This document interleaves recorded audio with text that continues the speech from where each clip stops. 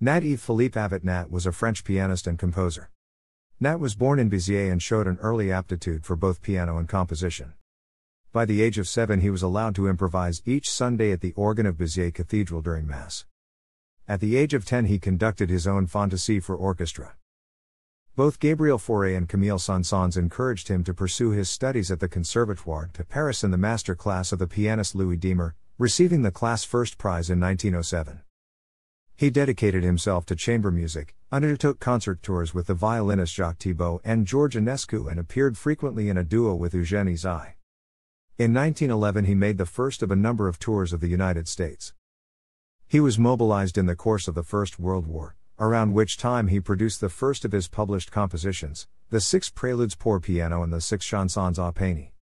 In the years which followed, Nat toured and performed extensively. However, he retired from concert life in 1937 to devote himself to teaching in the Paris Conservatoire and composing.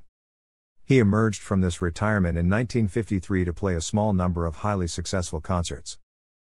The last of these, on February 4, 1954, was the premiere of his own piano concerto, with the Orchestre National de la Radiodiffusion Française under the conductorship of Pierre Dervaux, at the Théâtre des Champs-Élysées in Paris. His most notable pupils include Fabienne Jacquinot, Jacqueline Eymar, Reine Gianoli, Santos Ojeda, Jean Martin, Jörg Demus, Frederick Gevers, Genevieve Joy, Lucette Descaves, Jean Bernard Pommier, Pierre Sancan, and Jean Marie Baudet. He died in Paris, aged 65, in 1956. His repertoire particularly covered the works of Schubert, Schumann, and Brahms. Between 1951 and 1955, he recorded all 32 of the Beethoven piano sonatas.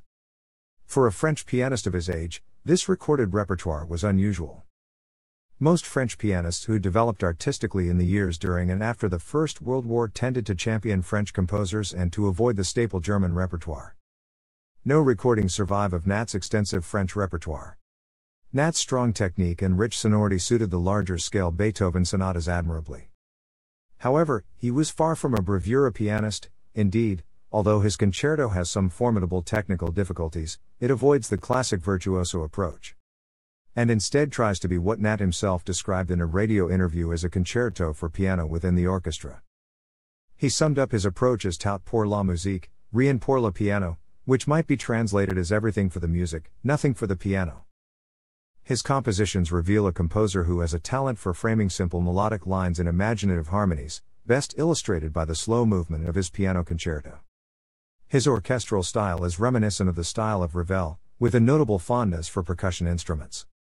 Beside the concerto and solo piano works, he composed chamber music and an oratorio. Thanks for watching.